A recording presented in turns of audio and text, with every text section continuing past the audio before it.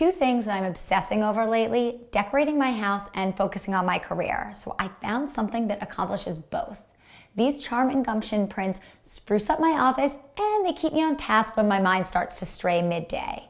There's tons of inspirational typography prints out there right now. The reason that I love these is because they're very subtle statements. They're sophisticated, they're not overly girly, not overly preachy. So when I go on a redecorating bender and I put one over the mantle in our bedroom, my husband doesn't freak out on me.